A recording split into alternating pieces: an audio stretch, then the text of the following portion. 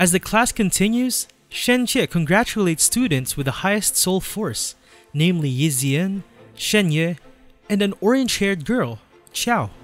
Li recalls how Qiao quickly reached 5-star silver rank in her past life and was considered to be a rising star. If possible, he'd like to help her reach that now. Du Ze reminds the others that even achieving a bronze rank fighter is difficult, as even bronze rank requires superhuman abilities. Past that, trying to be a demon medium is much more difficult, as training one's soul force is extremely difficult for those who aren't inherently gifted. Kids like Xian and Shen Yue have it easy. As the class ends, Du Ze recommends Li to give up on that bet.